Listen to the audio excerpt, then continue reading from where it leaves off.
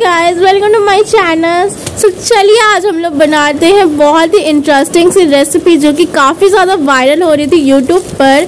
सो so, ये है omelette और हम लोग इसे बनाएँगे लेस के पैकेट में। सो so, मैंने यहाँ पे लिया है क्रीम एंड अनियन का लेस आप लोग कोई भी फ्लेवर ले सकते हैं। सो so, यहाँ पर मैंने डाल दिया है थ्री एग्स और यहाँ मैं डाल रही हूँ chopped coriander chop tomatoes chopped onion taste के अकॉर्डिंग सॉल्ट आप लोग डाल लीजिएगा और क्यूमिन सीड्स और हाँ मैंने यहाँ पे ग्रीन चिली भी चॉप्ड करके डाली हुई है।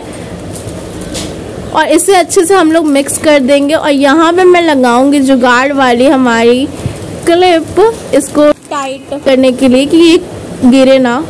और इसको हम लोग बॉयल वाटर में डाल देंगे। और मुझे काफ़ी ज़्यादा क्यूरियोसिटी हो रही थी कि बनी कि नहीं बनी तो मैंने इसे एक बार चेक किया तो ये मुझे हाफ़ कुक लगा। मुझे लगा कि नहीं ठीक से नहीं बना है। फिर मैंने इसे कुक करने के लिए रख दिया था कि ये अच्छे से कुक हो जाए। मैंने इसे फाइव मिनट तक और कुक किया था। अगर मैं अच्छे से कुक नहीं करती तो वेजिटेबल हमारी कच्ची रह जाती। तो आप लोग इसे 15 मिनट तो आराम से कुक होने दीजिएगा। सो so, अब चलिए फिर से चेक करते हैं। और ये मेरा थर्ड टाइम है जो मैं चेक कर रही हूँ। से, अब ये मुझे लग रहा है कि हाँ ये प्रॉपर बन चुका है तो अब इसे हम लोग प्लेट में ट्रांसफ़र कर लेंगे और इसे पीसेस में कट कर लेंगे और इससे हम लोग टमाटो केचप के साथ खाएँगे।